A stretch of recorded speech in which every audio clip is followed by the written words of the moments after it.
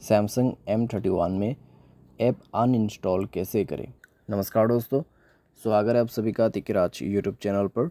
तो दोस्तों, आज के इस वीडियो पर मैं आपको बताऊँगा कि आप जो है कैसे अपने सैमसंग के मोबाइल पे ऐप अनइंस्टॉल कैसे कर सकते हैं।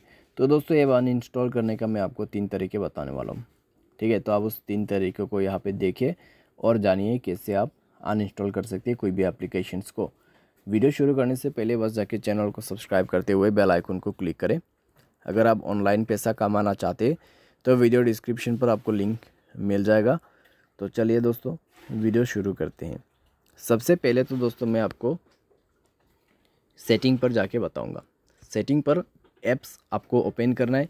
उसके बाद जो भी ऐप आपको अनइंस्टॉल करना है, उस ऐप को ओपन करना है। एंड देन ये रहा दोस्तों आपके सामने में अनइंस्टॉल बटन होम बटन के ऊपर में देखिए अनइंस्टॉल है, उसमें क्लिक कीजिए। Do you want to uninstall the app okay पर क्लिक करके अनइंस्टॉल कर दें। तो ये है दोस्तों सबसे पहला ऑप्शन ठीक है? अभी दूसरे वाला जो ऑप्शन है, आप यहाँ से भी अनइंस्टॉल कर सकते हैं ऐप्स को, ठीक है? यहाँ से नहीं, आप ऐप ड्रोवर से कर सकते हैं।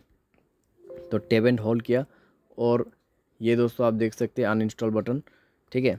यहाँ कोई भी एप्लीकेशन को सेलेक्ट कीजिए अनइंस्टॉल बटन पे क्लिक कीजिए और यहाँ पे भी लिखा हुआ है do you want do you want to uninstall this app okay कर दीजिए अनइंस्टॉल हो जाएगा। ठीक है? ये हो गया दोस्तों दूसरा तरीका। अभी तीसरा तरीका देखिए।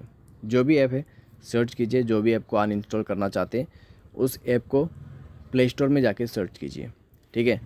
यहाँ पे हो सकते हैं आपके इंस्टाग्राम तो इंस्टा करके आप टाइप कीजिए तो आपको मिल जाएगा इंस्टाग्राम तो इंस्टाग्राम को आप अनइंस्टॉल करना चाहते हैं तो यहाँ पे क्लिक कीजिए।